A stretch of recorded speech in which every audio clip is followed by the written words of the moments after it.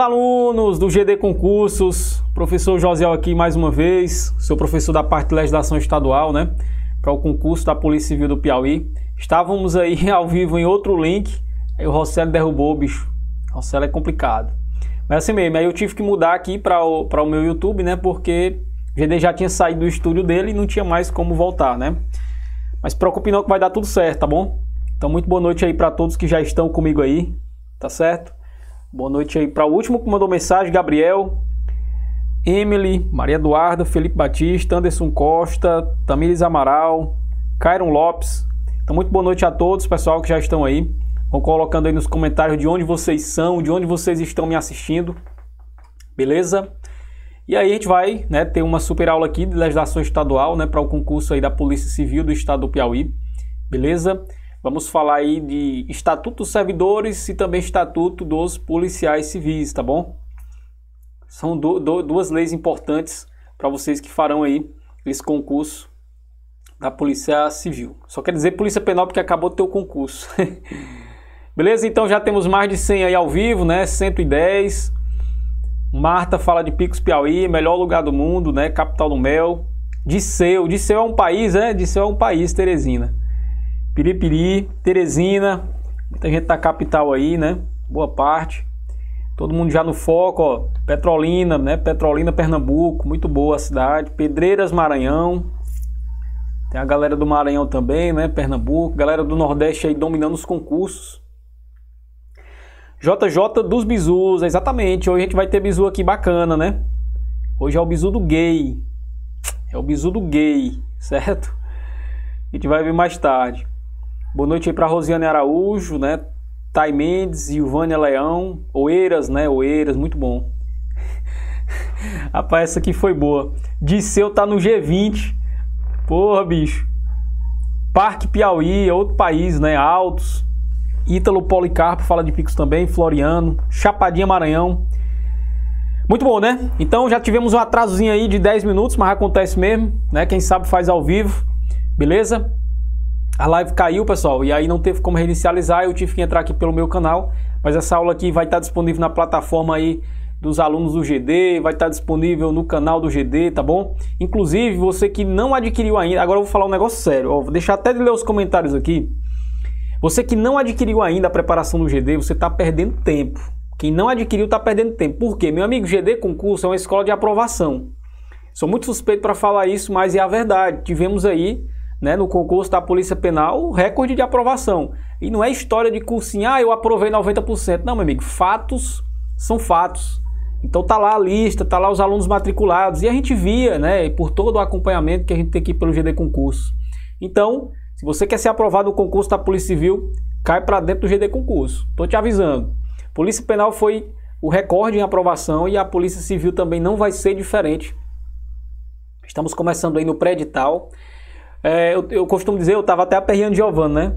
Que é, a preparação dele está potencializando o nível dos concurseiros, meu amigo. O cara vê ali 5 mil, se tivesse 5 mil inscritos para a Polícia Civil, a nota e corta lá em cima. Por quê? Por conta da qualidade, né?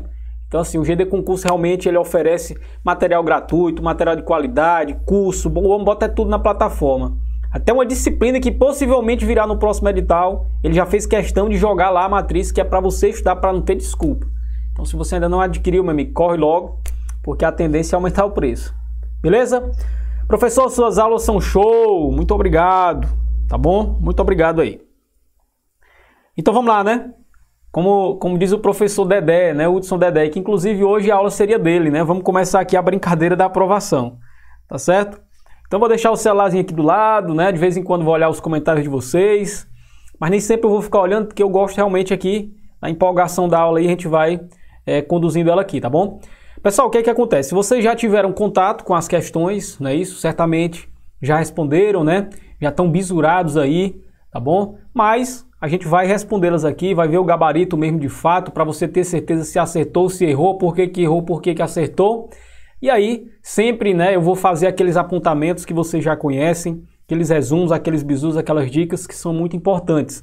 Como a gente está num pré-edital, né? Pré, pré, pré, pré, pré-edital, então é, a gente dá para mastigar mais um pouco o conteúdo, né? Depois do edital, o negócio é mais acelerado. tá bom? Então vou estar dando uma mastigadazinha, se de repente você já está um concurseiro aí mais avançado, segura a bronca, porque aqui a gente tem que nivelar em quem está começando e quem já está avançado, se preocupe não, que você também vai ficar melhor ainda, né? Quanto mais você souber de determinado conteúdo, melhor. Menos chance é de você errar na sua prova. Beleza? Show de bola? Então vamos lá. Vamos lá aqui para o nosso material, como diz o professor Dedé, brincadeira da aprovação, não é isso? Missão PCPI até o fim, GD Concursos. Primeira questãozinha aí sobre né, a Lei Complementar número 13, pessoal, de 94. Essa lei complementar ela vai falar do quê? Do Estatuto dos Servidores Públicos Civis, tá? Aqui do Piauí. E aqui ele vai falar sobre férias, né? Ó. É permitido aqui, ó, sobre as férias, né? Então a gente vai falar um pouco sobre férias. Professor, o que é férias? Eu nem tenho, já quero, né? Então, quando você é servidor público, quando você é da iniciativa privada, você tem direito a férias. Mas aqui a gente vai ficar preso ao serviço público, né? A Polícia Civil do Estado do Piauí, que você será o futuro servidor. A partir de 12 meses de efetivo, né, de exercício, 12 meses de exercício de trabalho na Polícia Civil, você vai ter direito a 30 dias consecutivos de férias. Não é que você vai ingressar na Polícia Civil hoje e amanhã tu tem férias não, pelo amor de Deus, tu acabou de entrar no serviço público. Então, a partir de 12 meses de efetivo exercício, certo? Você vai ter direito a 30 dias consecutivos de férias. A gente vai ver que tem duas situações de férias. Quem trabalha com raio-x e quem não trabalha. No seu caso, você não vai trabalhar. Então, no caso, você vai ter 30 dias consecutivos de férias. Você vai ver que pode dividir ela em três etapas. Professor, quer dividir férias em três etapas? Tira 10, né? Vai para Gramado, tira mais 10, vai para Campos do Jordão, tira mais 10, agora tu vai bem aqui para Fortaleza, no Ceará, curtir uma praiazinha. Dividir em três etapas é isso. E você pode acumular no máximo em dois períodos, acumular duas férias. Só que hoje aqui o negócio já está acochando para ninguém acumular mais nada. Beleza? Então, basicamente, isso que você tem que saber de férias, né? Professor, e no mês de férias eu, eu recebo um negocinho a mais? Aí você tem o chamado adicional de férias. Um terço a mais do que você recebe naquele mês. Beleza? Tranquilidade? Então vamos lá. Olha só. É permitido. Aí a letra A vai dizer o seguinte: é permitido levar em conta de férias apenas duas faltas de serviço. O cara né, teve duas faltas de serviço três faltas de serviço. Esses dias serão contados? Lógico que não. Se foram faltas injustificadas, faltas, faltas ao serviço, isso não é levado em conta. E ele está dizendo que é permitido levar. Meus olhos, tá errado, certo? Tá erradíssimo aqui. Letra B. Poderão ser parceladas em até duas etapas, desde que assim requeridas pelo servidor e no interesse da administração. Pessoal, é até duas etapas que elas podem ser parceladas três, né? Três etapas. Então o erro está dizendo que são duas, né? Não serão concedidas ao servidor que estiver respondendo à sindicância ou processo administrativo disciplinar. Servidor disciplinado está respondendo à sindicância, está respondendo um processo administrativo, férias, Deus me livre. Tu vai ter que responder o teu processo, tu vai ser ouvido, está sendo investigado, não vai se esquivar do negócio não. Então, está respondendo sindicância, está respondendo processo administrativo disciplinar, o famoso PAD, não tem direito a férias, não pode ser concedidas férias durante esse período, tá bom? Então, a letra C realmente vai estar correta, tá, pessoal? Porque realmente não pode ser concedidas férias ao servidor nessas condições, beleza? O servidor fará jus a 30 dias consecutivos de férias não cumuláveis. Não cumuláveis, tá errado, né? Por quê? porque eu posso acumular no máximo dois períodos. Não confunda três etapas com dois períodos. Três etapas eu posso rachar minhas férias três vezes. Não são 30 dias? 10, 10, 10. Duas etapas, três etapas é isso. Só que são três etapas, não são duas, como disse a letra B. A questão dos períodos é tu acumular férias. Uma férias, duas férias. É isso, não confunda, tá? poderão ser interrompidas a critério do superior imediato. Só porque o superior imediato quis, ele vai lá interromper, vai sustar suas férias. Meu amigo, férias é um negócio intocável. Então o superior imediato, né, porque simplesmente ele quer, ô oh, rapaz, tá faltando gente aqui no serviço, o negócio aqui tá apertado. Eu dei férias para fulano de tal, vou puxar ele de novo, não pode. Certo? Não pode, tem que ser algo extremo, meu amigo, para poder sustar as suas férias. Então aí, letra D está errada e letra E também, tá bom? Beleza?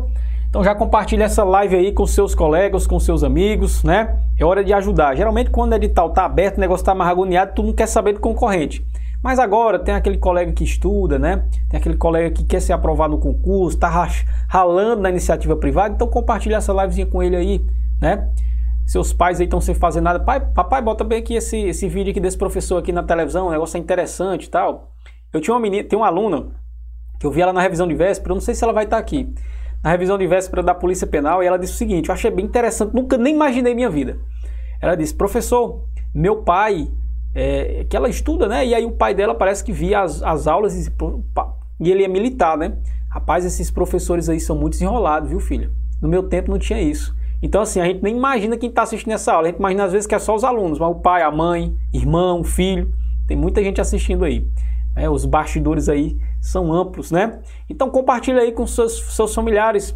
Ou assistam aqui, esse professor é muito bom, vai, vai fazer o concurso da Polícia Civil, estuda para ele, né? Que vai dar certo. Beleza? Tranquilo? É hora de propagar. E depois da edital aí tu não, não, não, não passa isso para ninguém, né? Pessoal, vamos falar um pouco aqui sobre férias, tá? Sobre férias, né? É importante a gente fazer aqui algumas anotações. Olha só, primeiro você tem que saber sobre o adicional, certo? Adicional de férias. E professor, que negócio é esse aqui de adicional de férias? Minha amiga, aqui é, é coisa boa, é dinheiro, certo? É dinheiro que tu vai receber, ó. Dinheiro, dinheiro. Esse adicional de férias vai ser o quê? Vai ser um terço a mais em relação à remuneração, ao subsídio que você tem direito naquele mês, tá bom? No terço a mais, tá bom? E aí, a gente vai ter aqui algumas condições em relação às férias. Quais são as condições? Primeiro, você saber que a duração é de 30 dias consecutivos, certo? 30 dias consecutivos. Porém, eu posso acumular no máximo dois períodos certo? E eu posso dividir essas minhas férias em no máximo três etapas, né? Em até três etapas. Beleza? Não confunda período com etapa. Beleza? Professor, quando é que eu vou ter direito a ter férias? Depois de seis meses que eu tirar serviço, eu vou ter direito a férias? Não. Após. Olha só, e aqui de repente pode ser uma, né, uma pegadinha bem aprofundada, como a gente tá de boa aqui antes do edital, então dá para falar após 12 meses de efetivo, olha o nome agora, efetivo exercício. Exercício. Por que, que é importante você falar isso? Porque, né, primeiro você toma posse. Depois que você toma posse, você tem um prazo para entrar em exercício é a partir da posse, veja só, pegadinha master que a banca pode cobrar, não duvido nada dar no CEP. É, a partir da posse, conto 12 meses a partir da posse, tu tem direito a férias? Tá errado. Por quê? Porque é a partir do momento que você entra em exercício, certo? É do exercício, são 12 meses de exercício, é trabalhando com a mão na massa que você vai ter direito a férias. Beleza? Tranquilo, né? E aí você tem que saber que não leva em conta né, qualquer falta, isso aí é o básico, né? E também é importante você saber o seguinte, que se estiver respondendo a procedimento administrativo disciplinar ou se estiver respondendo sindicância, não será concedida férias. Não concede, certo? Não concede férias. Beleza, pessoal? Tranquilidade? E aí você saber a exceção, né? A exceção é quem opera com raio-x. Quem opera com raio-x, aí vai ter uma diferençazinha, né? Quem opera com raio-x, o que é que você tem que saber? Quem opera com raio-x, primeiro que é 20 dias de férias a cada semestre. Certo? 20 dias a cada semestre, 20 dias a cada semestre quem opera com raio-x, tá bom? E olha aqui a proibição, ó, não pode acumular. certo? Não pode acumular. Então são informações importantes aí que você tem que levar. Sobre a questão de interromper, vamos colocar aqui, ó. OBS. As férias, elas não podem, não podem ser interrompidas, né? Então, ó, as férias não podem ser interrompidas. Interrompidas. Essa é a regra. Aí eu vou ter aqui um salvo. Salvo. Salvo o quê? Absoluta necessidade de serviço, né? Superior interesse público. Certo? Superior interesse público ou absoluta necessidade de serviço, certo? Superior interesse público absoluta necessidade de serviço, tá bom? Então, pessoal, com esse resuminho aqui, você acerta qualquer questão relacionada às férias. Não tem bicho de sete cabeças. Tranquilidade? Anotaram aí, tiraram o print, compartilharam. Vamos lá, né, para próxima questãozinha. Próxima questão diz o seguinte, conforme o Estatuto do Servidor ainda, né? Conforme preconiza a Lei Complementar Estadual número 13 de 94, constituem indenizações ao servidor. Então o que é que acontece, pessoal? Eu tenho um negócio chamado de vantagens. Dentro das vantagens, eu tenho gratificações, certo? Eu tenho adicionais, eu tenho indenizações. E é importante você fazer essa diferença. A diferença de uma indenização para uma gratificação, por exemplo. Então, nós temos aqui uma, uma, uma indenização, uma diária. Nós temos uma gratificação, gratificação natalina, são duas coisas distintas. Valeu natalina. Ó, o que é que acontece? Nós temos aí a gratificação natalina, é uma gratificação.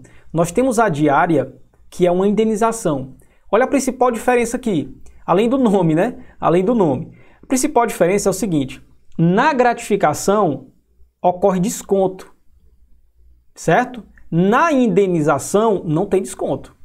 Vamos supor, a diária hoje, né, para os militares do Estado, a diária é de 160 reais. O cara viajou dois dias. Não, vamos botar o cara viajou 10 dias. 160, 10 dias, 1.600. É 1.600 reais que ele recebe, amigo, acabou. Na gratificação natalina tem desconto. Então a gente vai ver que a gratificação incorpora desconto e a indenização não incorpora desconto. Então é importante você saber essas diferentes, diferenças, tá bom? Valeu, Natalinha. Olha só, então ele quer saber o que é que constitui indenização, né? O soldo, nem existe mais isso, né?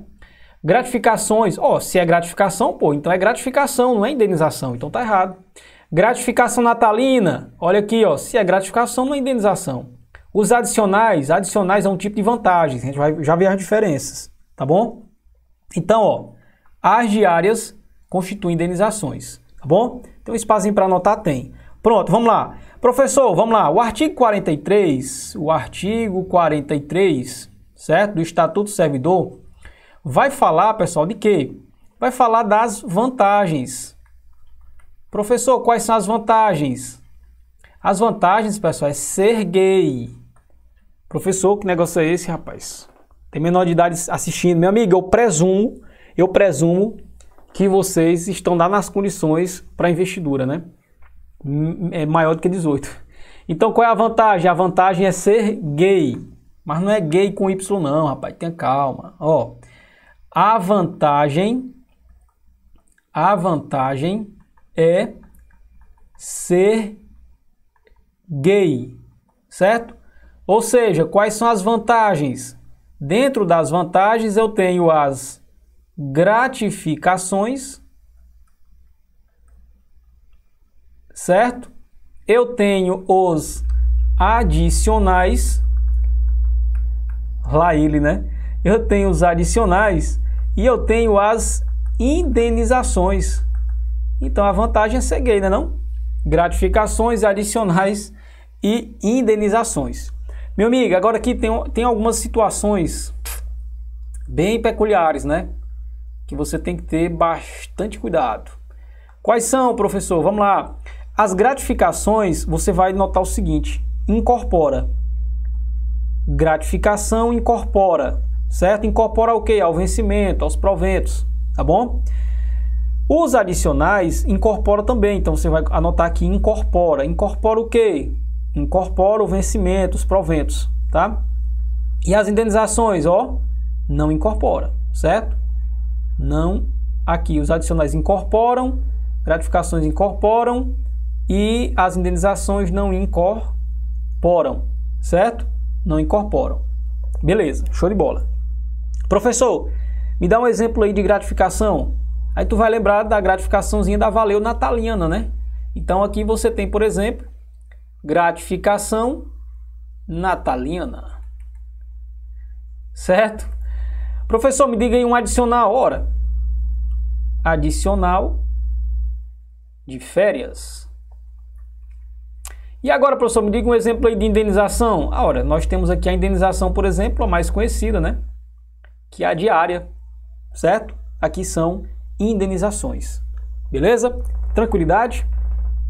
E aí, pessoal, dentro das indenizações eu tenho as diárias. E eu tenho, ó, é quatro confusão que eu tenho aqui dentro da parte de indenizações.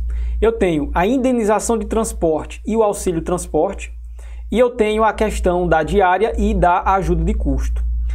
E por incrível que pareça, uma confunde com a outra. Por exemplo, vamos lá. A diária, ela tem muito a ver com a ajuda de custo. Quando é que vai ser diária? Quando é uma, por exemplo, o cara vai viajar, o cara mora em Teresina, trabalha em Teresina, ele vai viajar para Picos, por exemplo, para fazer aqui, participar aqui de uma operação pela Polícia Civil, né?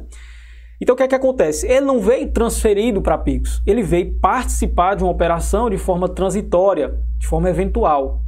Ele vai ter direito à ajuda de custo ou diária? Ele vai ter direito à diária, porque ele não veio de forma permanente. Então os dias que ele passar aqui, ele vai receber diária. Detalhe, quando há pernoite, né, quando, por exemplo, você dorme no local, é uma diária inteira, uma completa. Se você não pernoita, então é só meia diária. Quando é que vai ser ajuda de custo? Ajuda de custo é quando o cara ele é transferido no interesse da administração, de forma permanente. O cara trabalhava em Teresina, vai passar a trabalhar de forma permanente em Picos. Ele vai ter direito aí à ajuda de custo. Eu tenho a questão do auxílio transporte e da indenização de transporte. Qual a diferença? Na indenização de transporte, eu vou indenizar. Eu vou pagar o cara que utiliza o transporte dele para fazer um serviço público. Imagina desse jeito que você não erra a questão. E o auxílio transporte?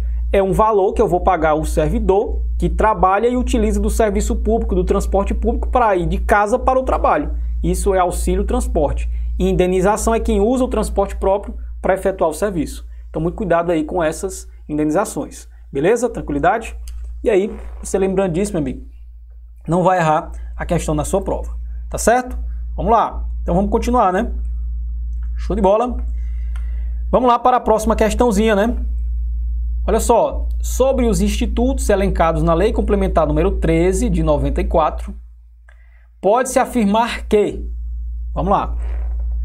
Pessoal, aqui é um tópico que é bem cobrado certo? Banca no CEP gosta muito, inclusive cobrou na Polícia Penal sobre formas de provimento, certo? Nós temos formas de provimento, é eu preencher o cargo que está vago, e eu tenho formas de vacância, que é deixar lá o cargo vago. E aí você não pode confundir essas duas situações, e a gente vai estudar, inclusive, as duas situações na nossa aula. Situações de provimento e situações de vacância. Vacância é deixar vago, provimento, prover, preencher, certo? Olha só. Os servidores investidos em cargo ou função de direção ou chefia e os ocupantes de cargo de natureza especial terão substitutos indicados pelo presidente da Assembleia Legislativa, né? Mediante lista tríplice. Não tem esse negócio de lista tríplice, certo? O item aqui ele vai estar errado. E também aqui não vai ser indicado pelo presidente da Assembleia Legislativa, né? Isso aqui eles vão ser indicados por quem? por regimento interno. Certo? Por regimento interno. Beleza? Show de bola? Beleza, então tá errado, né? Letra A. Vamos lá, letra B. A reversão vou até marcar logo todo mundo aqui, ó. Eu tenho retorno, tenho reversão, aí ele fala aqui, ó, aproveitamento, certo? Reversão, remoção. Vamos lá. Letra B, reversão é o retorno do servidor estável ao cargo anteriormente ocupado e decorrerá de inabilitação em estágio probatório relativo a outro cargo. Pessoal, isso aqui não é reversão. Isso aqui é o que? Recondução. Isso aqui é recondução. Reversão é o retorno do velho da lancha, né? É o retorno do aposentado, certo? Então, muito cuidado. Eu tenho a reversão, que é o retorno do velho da lancha, né? O retorno do aposentado. E eu tenho a reversão e eu tenho a recondução, que foi a situação dessa questão aqui. É o cara que foi inabilitado em outro estágio probatório e aí eu reconduzo ele ao cargo anteriormente ocupado. Isso eu chamo de recondução, tá? E não reversão. Beleza? Letra C. A reversão é o retorno à atividade do servidor aposentado por invalidez, quando a junta médica oficial declarar insubsistente os motivos da aposentadoria. E aí, isso aí está correto? Vamos lá, né? O retorno à atividade do servidor em disponibilidade faciar mediante aproveitamento facultativo em cargos e atribuições e vencimentos compatíveis com o anteriormente ocupado. Pessoal, realmente, né, eu, eu, eu, eu aproveito o disponível. Né? Aproveitamento é uma forma de provimento. E realmente eu aproveito o disponível, mas não é aproveitamento facultativo, é obrigatório. Letras, letra D está errada, né? Remoção é o deslocamento do servidor, certo? Apenas, ó, restringiu, ó, apenas a pedido. Aí tá errado, né, pessoal? Por quê? Porque a remoção ela pode ser a pedido ou ou de ofício ou ou de permuta, né? E não só a pedido. No âmbito do mesmo quadro, com ou sem mudança de sede e sem se modificar a sua situação funcional. Então tá errado porque não é apenas a pedido, então a letra C vai ser o nosso gabarito. Pessoal, muito cuidado, porque nós temos duas situações.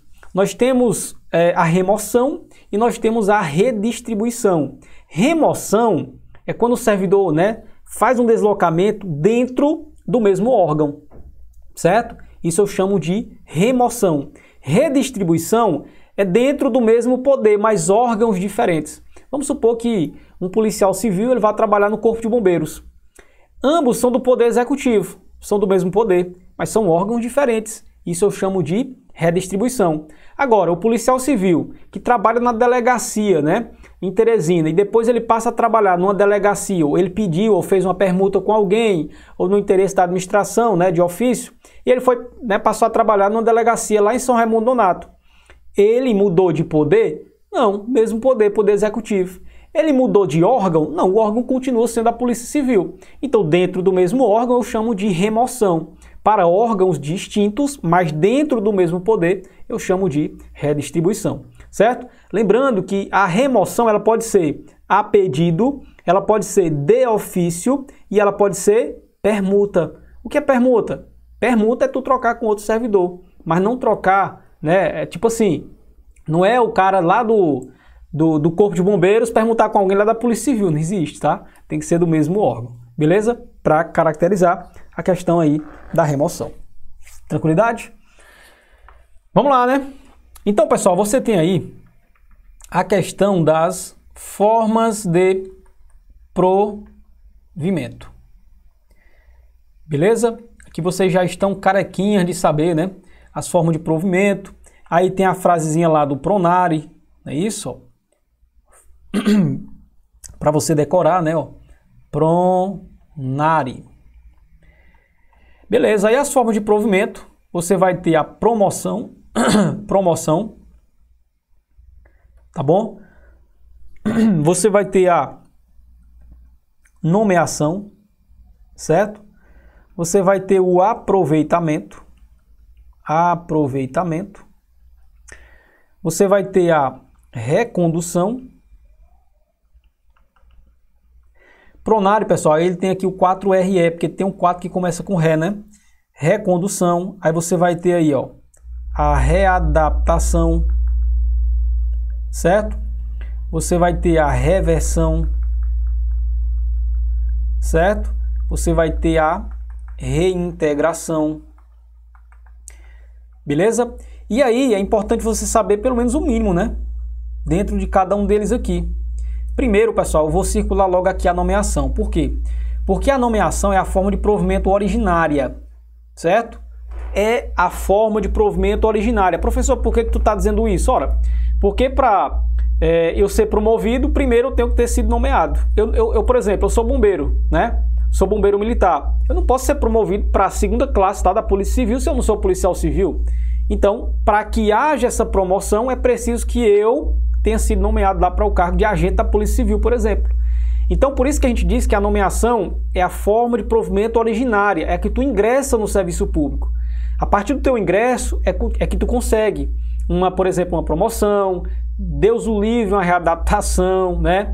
uma reversão. Então, primeiro precisou tu entrar lá no serviço público para depois tu conseguir essas outras.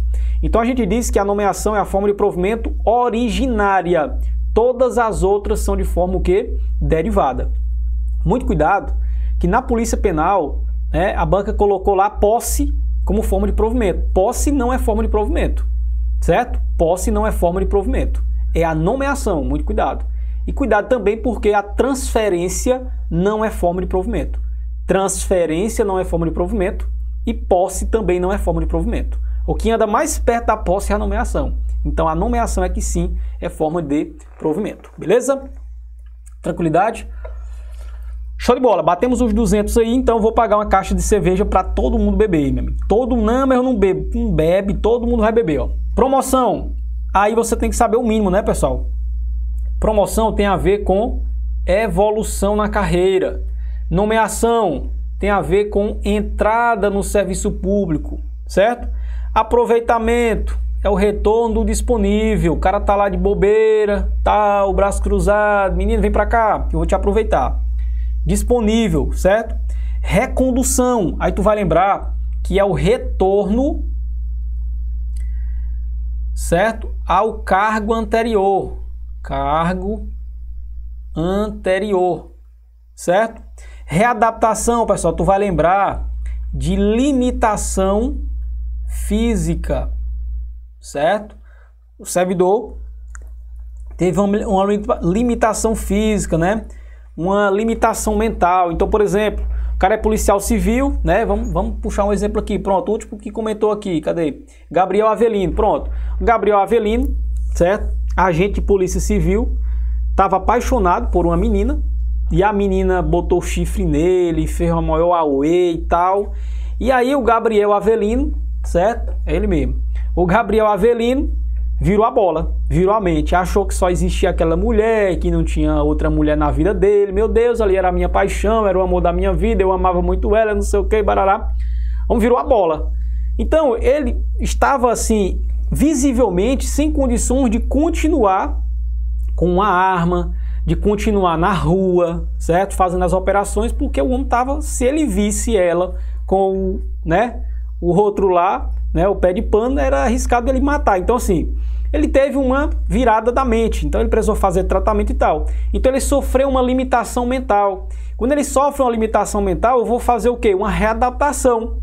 O que é uma readaptação? É eu procurar uma função ali compatível com essa limitação que ele teve dentro da Polícia Civil. Então isso é readaptação. Beleza? Tranquilidade?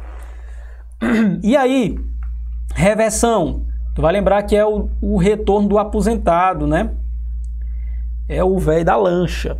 E reintegração, tu vai lembrar do demitido, certo? Vai lembrar do demitido. Então, por exemplo, o servidor ele foi demitido. Você sabe que a demissão é uma punição, certo? E aí ele conseguiu, entrou na justiça lá e conseguiu retornar. Conseguiu provar que era inocente, não sei o quê, ou que aquela punição não, não, não era, era incompatível, né? De repente o que ele cometeu era muito pequeno para gerar uma demissão e ele conseguiu reverter na justiça e ele voltou. E aí eu chamo isso de reintegração, beleza? Isso aí é uma forma de provimento, tá bom? Tranquilidade? É brincadeira, viu, Gabriel? É brincadeira, tá? Sei que você não vai, não vai fazer um negócio desse. E aí, pessoal, é importante você saber a diferença de remoção para redistribuição. Redistribuição. Beleza, né? O básico, o básico que você tem que saber, certo? E é o básico que funciona. Olha só. A remoção, pessoal, ela é dentro do mesmo órgão, certo? Mesmo quadro. Mesmo quadro, tá bom? Mesmo órgão, certo? Enquanto que a redistribuição é para outro órgão, certo? É para outro órgão, porém dentro do mesmo poder, certo? Dentro do mesmo poder. Beleza? Dentro do mesmo poder. Tranquilo? Vamos lá, vamos prosseguir. Questão número 4. Questão número 4 diz o seguinte: pelo exercício irregular de suas atribuições, o servidor ele pode responder civil, penal e administrativamente. Nesse contexto, assinale a alternativa correta. Pessoal, o que é que acontece? A gente diz que o servidor público é o bicho mais fácil de tu pegar, né? Por quê? Porque primeiro que tem os dados em todo canto. Segundo que ele sempre vai ter algum superior. Segundo que o cara sabe onde é que ele trabalha. Então assim, o servidor ele é muito amarrado, né? É, e aí o servidor ele vai responder, meu amigo, nas três esferas possíveis. Ele responde de forma administrativa, ele responde de forma penal, ele responde de forma civil. Então, de todo jeito, o servidor responde. Então, ele vai responder. Beleza? Então, você tem que saber essa ideia aí da questão da responsabilidade né, do servidor. Aí ele pede para marcar a correta, né? Então, vamos analisar aqui. Ó. A responsabilidade civil ela decorre de ato omissivo ou comissivo, doloso ou culposo lógico que resulte aí em prejuízo ao erário ou a terceiros. Certo? E aí, letra A está correta? Vamos continuar. O servidor ele será responsabilizado caso provoque danos a terceiros em ação proposta diretamente pelo prejudicado. Não, pessoal, isso aqui está errado, certo? O que é que vai acontecer? Aí você estuda lá no direito administrativo a questão da responsabilidade civil do Estado. O servidor, vamos lá, o policial civil, ele cometeu alguma coisa, algum ilícito lá e tal. Então, o prejudicado vai entrar, não é contra o servidor. Ele vai entrar, por exemplo, não vou pegar o, é, a Emily agora, a Emily Vanessa, né? De repente a Emily Vanessa cometeu um ilícito lá, teve algum prejuízo, tá? Um prejuízo a terceiro. Esse terceiro não vai entrar, não é contra a Emily, ela vai entrar contra o Estado. E o Estado é quem vai se encarregar, né, de entrar contra a Emily em ação regressiva, como a gente chama, né? Então aqui ele está dizendo que o servidor vai ser responsabilizado e caso provoque danos, vai ser em ação proposta diretamente ao prejudicado. Não, não é ação diretamente prejud pelo prejudicado. O prejudicado, ele entra contra o Estado e o Estado vai lá no servidor dele. Então ele vai lá na Emily, beleza? Então cuidado com isso.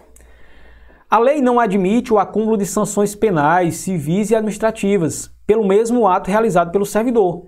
É erradíssimo, certo? As três esferas, pessoal, elas são independentes. Então o cara pode, por exemplo, pegar uma punição penal e pegar uma administrativa e somar. Não, tem, não, ele já foi punido na penal, vamos tirar essa administrativa aqui. Não existe. Ele pega as três sanções. Se ele tiver que indenizar, se ele tiver que pegar lá um, uma advertência, uma suspensão, repreensão e mais uma pena, né? Lá no direito penal, pode acumular as três, não tem problema nenhum. Beleza? As três esferas, elas são independentes. A gente vai ter uma situação em que a absolução, a absolvição criminal, né, quase não sai, vai fugir, mas a gente vai ver já já qual é a situação. Mas a regra, eu acumulo as três, certo? São perfeitamente acumuláveis, tá bom?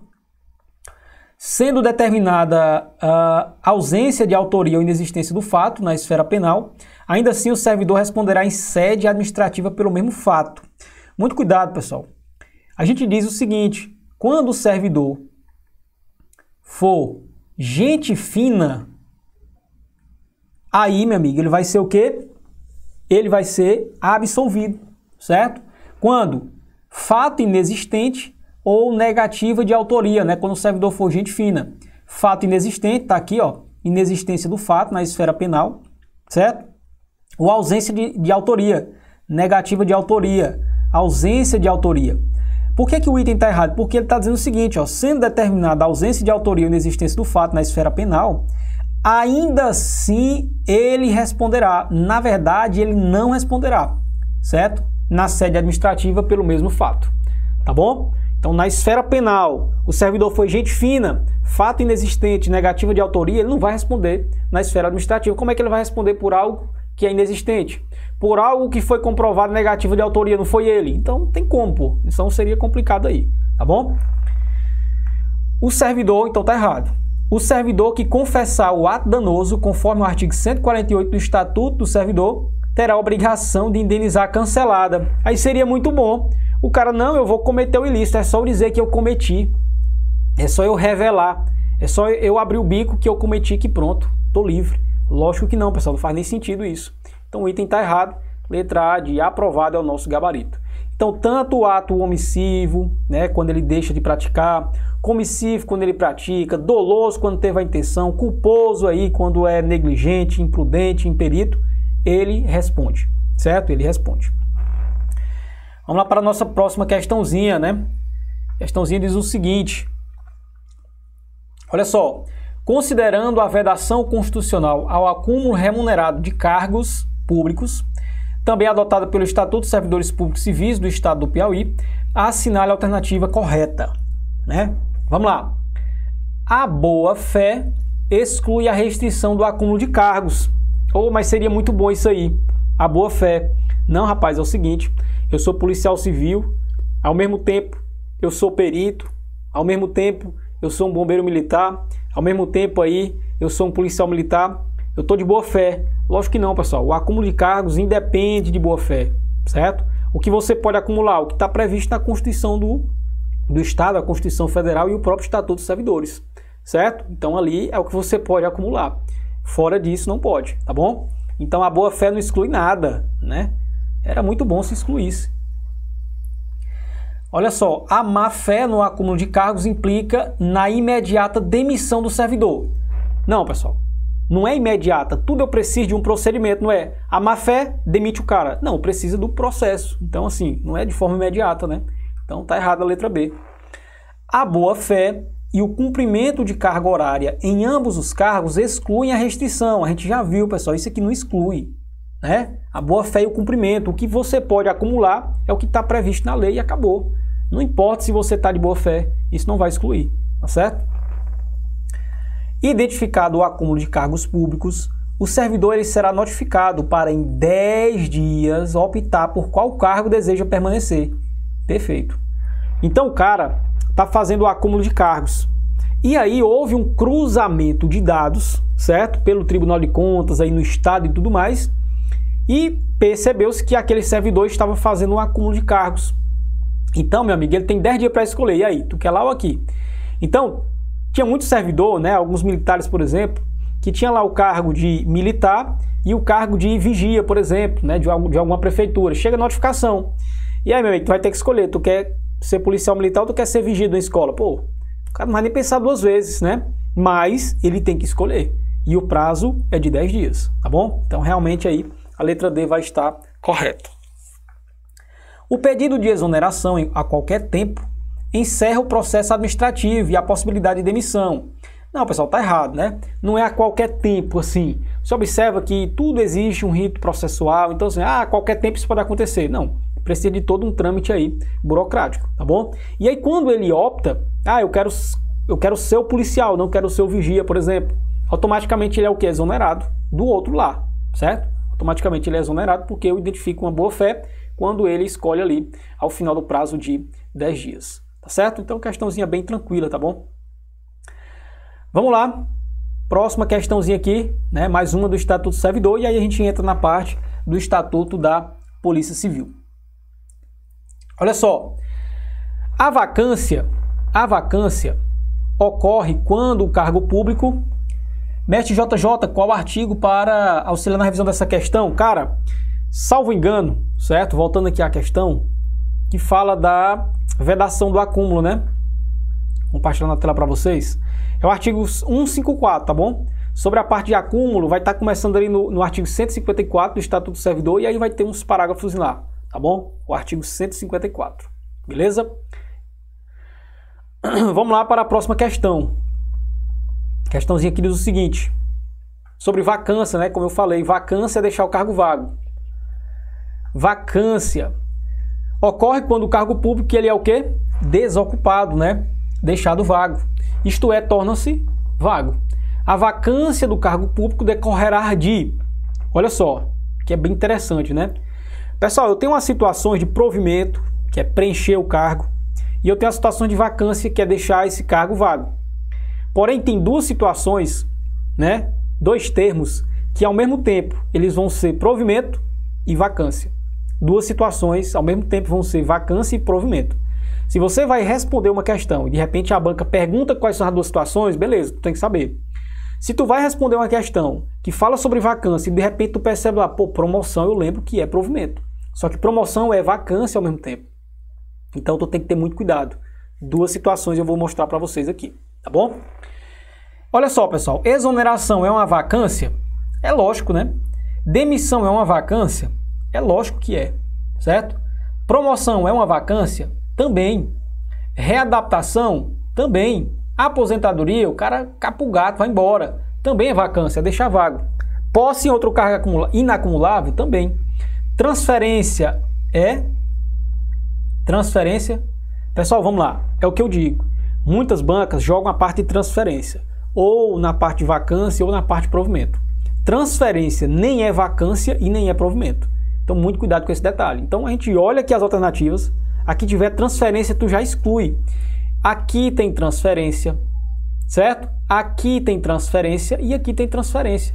Então, e aqui tem transferência. E agora? E agora a questão ela vai ser o quê? Nula, né? Porque transferência não é forma de vacância. Beleza? Olha só. Aí tu vem, exonerar falecimento. Sim, certo? Falecimento sim é forma de vacância. Então essa questão aqui ela é para ser o quê? Nula. Por quê? Porque transferência não é forma de vacância, tá bom? Beleza? Então, professor, quais são as formas de vacância? Aí tu vai anotar o seguinte, ó, o bizu. Formas de vacância. Certo? Forma de vacância. Qual é o bizu das formas de vacância, professor? Aí tu vai anotar no seu material o seguinte: pedra, pedra, furou, pneu. Ah, pedra furou pneu, beleza? Aqui é o bizu. E aí, quais, quais serão as formas de vacância? Aí tu vai anotar no seu material aqui. Tem até espaço, eu estou anotando aqui de doido. Pedra, pedra, furou, pneu, certo? É o bizu que você vai levar para sua prova. Pneu, certo? Ah, estou dizendo que tem letra E, né? Por me desculpe, por me desculpe. No meu material não copiei a letra E, né? Por isso que eu disse que a questão seria nula, porque até a D todas têm transferência. Se tem transferência, aí não é forma de vacância, beleza? Então todo mundo tem o material, marca a letra E, tá bom? Letra E de eu seria aprovado, que não tem a parte de transferência. De qualquer forma, eu vou anotar para vocês aqui quais são as formas de vacância, tá bom? Pedra furou pneu, aí você vai ter o P, certo? Você vai ter o E, você vai ter o D, você vai ter o R, tem o A, tem o F e tem o P, tá bom? Então, quais são, quais são as formas de vacância? Promoção, certo? Promoção, aí aqui eu vou anotar logo, ó. Readaptação, certo? Readaptação. E aí vou marcar elas duas, por quê? Porque ao mesmo tempo elas são forma de provimento e também forma de vacância. Só essas duas, tá bom? Show! Aí você vai ter o E de exoneração. Você vai ter o D de demissão. Você vai ter o A de aposentadoria. Certo? O F de falecimento. E o P de quê? E o P de quê? Eu acho que eu coloquei o outro, né? Já. Pronto. Posse inacumulável. Você vai anotar no seu material. Inacumulável. Certo? Eu tenho dois P. O P da promoção e o P de posse inacumulável, né? Por quê? Ora, se eu passo em outro concurso e é um cargo inacumulável, então eu vou tomar posse no outro. Quando eu vou tomar posse no outro, esse aqui ficou vago. Beleza? Então aqui são as formas de vacância, certo? Formas formas de vacância. Certo? Formas de vacância, de deixar o cargo vago. Tranquilo? Vamos lá, agora aqui a gente vai começar, certo? Questões inéditas elaboradas por mim, tá bom? Porque a gente não encontra essas questões aí. No último concurso tiveram, salvo engano, duas e uma foi anulada, né? É, por conta que ela hoje está desatualizada. Então, eu preferi trazer questões inéditas, mas não se preocupe não que aqui a gente vai responder questões desse estatuto aqui e vocês vão, vão saber esse estatuto aqui, meu amigo, de trás para frente, certo? De boa demais. Vamos lá. Questãozinha número 7 do prof. Josiel, ó. Segundo o que dispõe o Estatuto dos Policiais Civis do Estado do Piauí, Lei Complementar número 37 de 2004 e atualizações posteriores, analise abaixo e marque a correta, né? Já estão dizendo aí que ah, não, tá certo, letra é da anterior, né? Vamos marcar a correta aqui, ó. A Polícia Civil do Estado do Piauí, dirigida por delegado de polícia de carreira, é uma instituição temporária do Poder Judiciário e auxiliar da função jurisdicional do Estado. Letra A está errada. Por quê? Porque a Polícia Civil, pessoal, é uma instituição permanente. Ela não é do Poder Judiciário, ela é do Poder Executivo. Então, muito cuidado. Por ela exercer a função de polícia judiciária, auxiliar da função jurisdicional do Estado, às vezes o candidato tende a achar que ela é do Poder Judiciário. E não é, é do Poder Executivo. Beleza? Poder executivo e é permanente. Letra B de bola. A Polícia Civil tem por chefe o delegado geral, subordinado ao secretário de Segurança Pública, nomeado em comissão pelo governador, dentro do delegado de Polícia Civil do Estado do Piauí, da ativa, inativa e estáveis. Opa, inativa não, certo? Então o que é que acontece? Você tem que saber o seguinte: a Polícia Civil é o todo. A Polícia Civil se divide em Polícia Judiciária e Polícia Científica. Quem comanda a Polícia Civil é um delegado geral de Polícia Civil. Esse delegado geral, ele é nomeado pelo governador, ele é subordinado ao secretário de Segurança Pública e ele tem que ser da ativa, não é um cara que se aposentou e voltou, que aí é inativo, ele se aposentou, certo? E ele tem que ser estável, ele já tem que ter vencido o estágio probatório, beleza? Então muito cuidado com esse detalhe. A função de delegado geral, então letra B está errada, é, adjunto é exercida por delegado de Polícia Civil do Estado do Piauí, da ativa ou inativa e estável, não é inativa, tá? Então, o que é que acontece? Nós temos aí um delegado geral que comanda a Polícia Civil e um subcomandante, né? É como se fosse isso. E o subcomandante, que é um delegado geral adjunto. Mas ambos eles têm que ser o quê? Da ativa e estáveis. Então, muito cuidado aí com esse detalhe, tá bom? Então, pessoal, por eliminação, letra D de doido, né? O Departamento de Polícia Científica é dirigido pelo perito geral, subordinado ao delegado geral da Polícia Civil, nomeado dentre os peritos da ativa e estáveis. Então, muito cuidado, né? Eu postei até uma, uma questãozinha um dia desse no Instagram, né? E aí eu percebi que muita gente ficou na dúvida. O que, é que acontece? Nós temos que a Polícia Civil é o todo. Quem comanda o todo é o delegado geral da Polícia Civil. Só que a Polícia Civil ela se divide em Polícia Judiciária e Polícia Científica. A Polícia Científica vai ter um comandante, que é um perito geral. E esse perito geral ele está subordinado ao delegado geral. Por quê? Porque o delegado geral é o comandante da Polícia Civil e a Polícia Científica é um braço dessa Polícia Civil. Então até postei como é que funciona a hierarquia. O delegado geral está subordinado ao secretário de segurança, o perito geral está subordinado ao delegado geral. Muito cuidado, meu amigo, muito cuidado, porque a NUCEP já cobrou dizendo, e a NUCEP já cobrou no último concurso, que o perito geral subordinado aí diretamente né, ao secretário de segurança pública, o item está errado. Tá bom? Vamos lá. Pessoal, o que, que acontece? Algumas anotações importantes, tá? Tomar uma águazinha aqui, meu amigo, porque senão a garganta vai pro beleléu.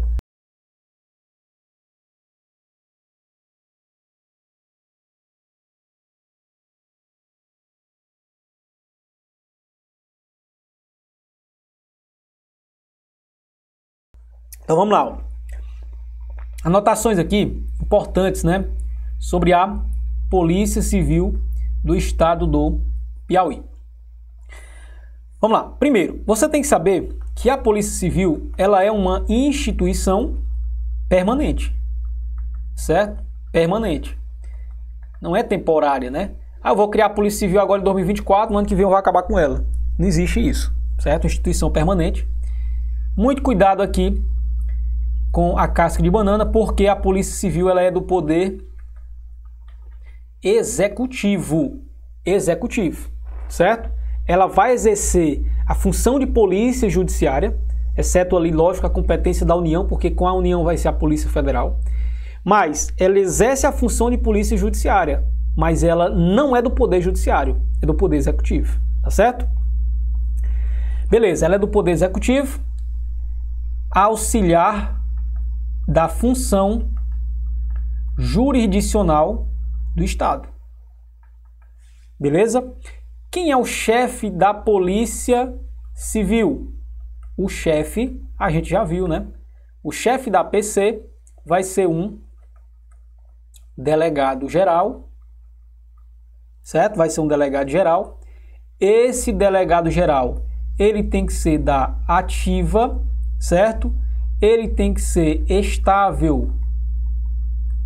E ele está subordinado a quem? Ao secretário de Segurança Pública, tá?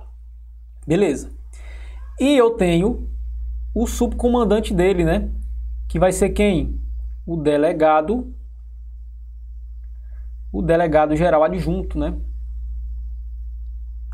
O delegado geral adjunto, delegado geral adjunto. Esse delegado geral adjunto, ele tem que ser o que também? Ele tem que ser da ativa e ele tem que ser estável, tá bom?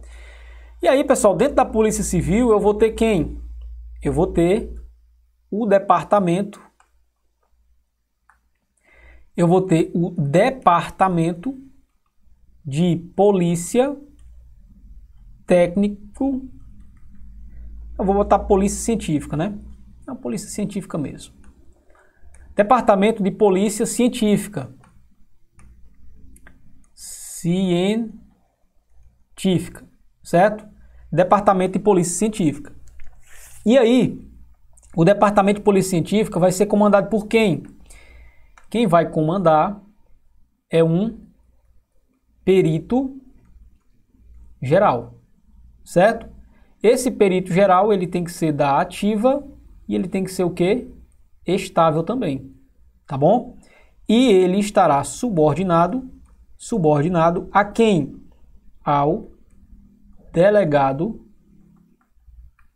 geral, certo?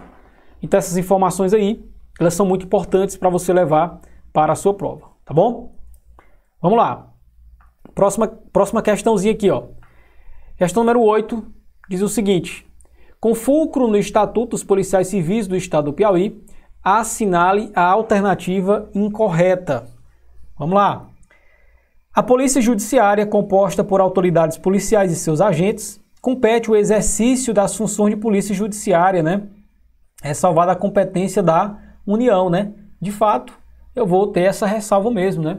Eu vou ter essa ressalva, então o item está o quê? Correto. A Polícia Civil compõe-se de polícia judiciária e polícia técnico-científica. Isso aqui é verdade também. A gente já viu, né? A Polícia Civil ao todo. Ao delegado de polícia de carreira compete a direção da Polícia Judiciária. Sim. A ele ficando subordinados hierarquicamente quem? Os escrivães e os agentes de polícia. Isso aqui também é verdade. Tá bom? Os agentes e os escrivães, eles realmente ficam aí hierarquicamente inferiores a, né, subordinados, no caso, ao delegado. A incorreta é a letra D, porque diz que o perito geral fica subordinado diretamente ao secretário de Segurança Pública. Não, ele fica subordinado diretamente a quem? Delegado de Polícia Civil e é o delegado geral. Tá bom? Beleza? Então o que é que acontece, pessoal? Dentro da polícia científica, certo? Você tem o seguinte, ó. Polícia civil. Dentro da polícia civil você tem os dois braços, né? Você tem a polícia judiciária, certo? Quem é que faz parte aí da Polícia Judiciária? Polícia Judiciária, por enquanto, a gente tem o delegado, a gente tem o agente e o escrivão. Lembrando aí que pela lei né, de organização nacional, o cargo de escrivão e agente vão ser um só, oficial de investigação, mas no estatuto está assim ainda. E nós temos a polícia científica. Quem é que faz parte da polícia científica? Polícia científica, você tem o perito médico legista, você tem o perito odonto legista e você tem aí quem? O perito criminal. Cuidado que não existe mais a figura do perito papiloscopista, tá bom? Tranquilidade, próxima questãozinha bem bacana, bem tranquila. São atribuições dos agentes de polícia civil, exceto. Presta atenção, meu aluno. O que, é que acontece?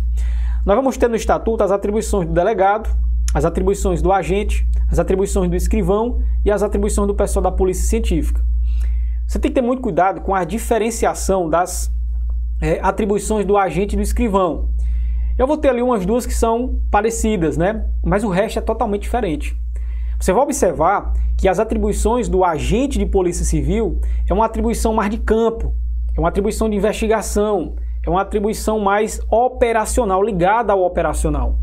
Você vai observar que o trabalho do escrivão, as atribuições de acordo com o estatuto, é uma atribuição mais burocrática, envolve mais serviços cartorários, aquela parte de documentação. Boa parte das atribuições dos escrivães, de acordo com o estatuto, você vai observar o nome cartorários, cartório, cartorários. Então daí você já exclui, certo? Então o cara, o agente prende, o agente prende, faz uma busca, chega na delegacia, quem é que vai né, digitar? O escrivão, né? Vai digitar ali os termos, reduzir tudo a termos. Então esse serviço mais burocrático, de acordo com o estatuto e atribuição do escrivão. Ah, professor, mas o agente faz, meu amigo, Calma, você não tem que saber o que é que funciona na prática.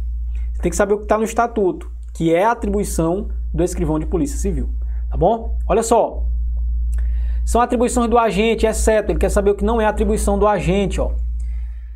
Investigar é operacionalidade. Então isso aqui é o que? Realizar, realizar diligências, efetuar prisões, intimações. É operacionalidade, é atividade de campo. Então isso aqui é atribuição do agente. Auxiliar o delegado de polícia em todos os fatos de investigação, é operacionalidade, é atividade de campo. Agente. Atuar na apuração dos atos infracionais, é atividade de campo, é mão na massa, é do agente. Agora, reduzir declarações a termos, burocrático, documento. Isso aqui é atribuição dos escrivães. Certo? Então você vai perceber isso aí com uma bela leiturazinha no estatuto. Questão básica aqui, você dá para associar essa parte aqui de promoções até ao, ao estatuto da própria Polícia Penal. Praticamente igual. Ó. Marque a alternativa correta de acordo com o estatuto da Polícia Civil do Estado do Piauí. Ó, afastando-se o policial civil durante o estágio probatório, o tempo ele será computado para efeito de estabilidade e promoção. O que é que você sabe? Meu amigo, afastamento durante o estágio probatório morreu, interrompe. Não será computado. Ele está dizendo que será computado, o item está errado. A promoção por antiguidade ou por merecimento será feita de uma classe para outra imediatamente superior, dentro de uma mesma carreira. Letra B.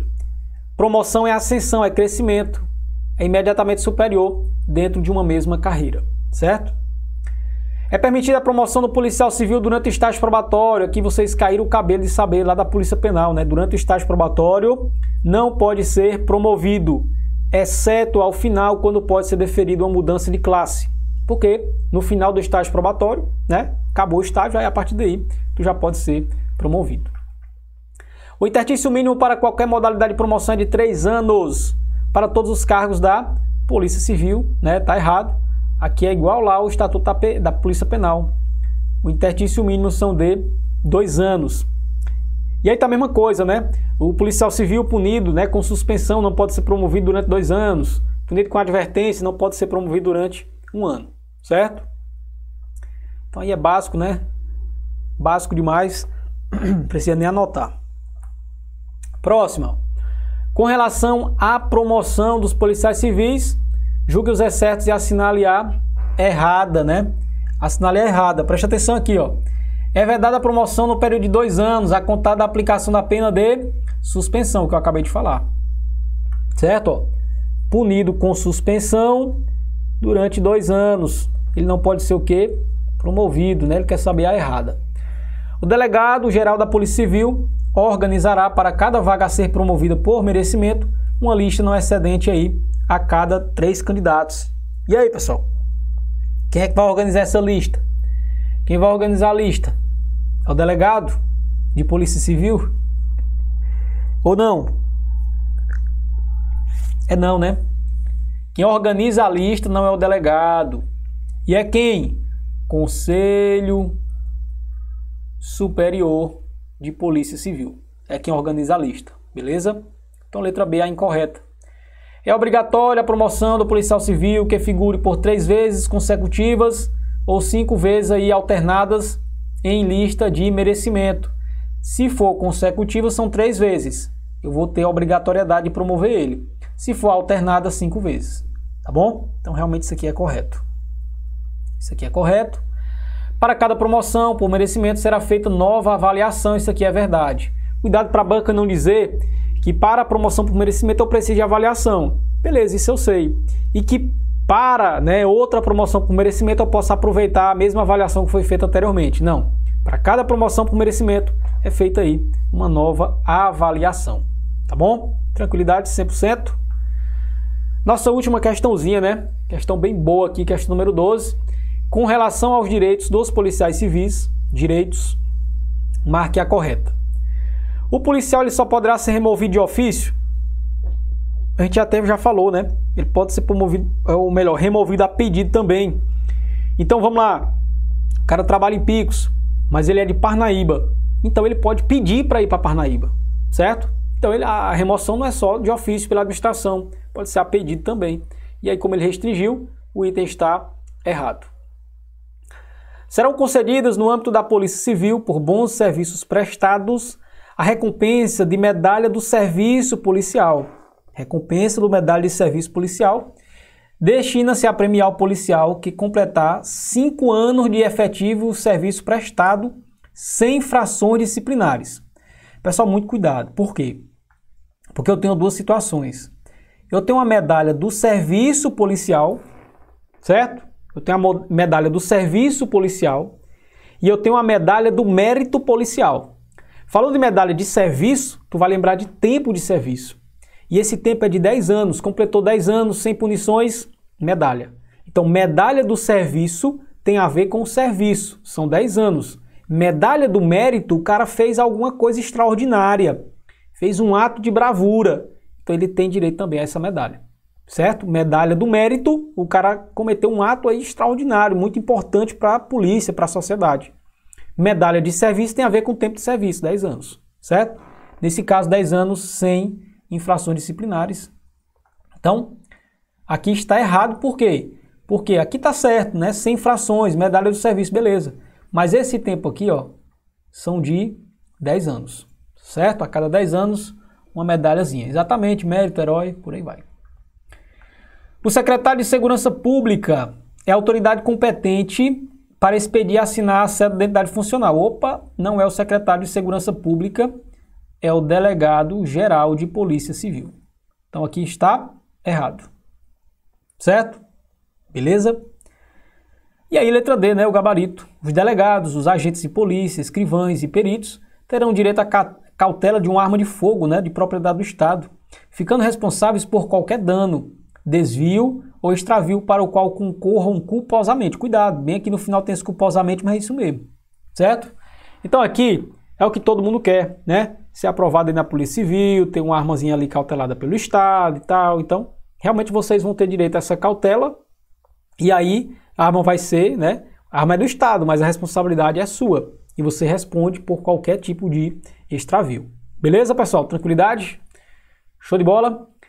Então, é isso, né? A gente chega ao fim, tá certo? Dessa nossa aulazinha aqui. Uma aula bem direta ao ponto, bem objetiva. Espero que vocês tenham gostado, né? Todo mundo tenha entendido. Se alguém tem alguma dúvida, pode perguntar.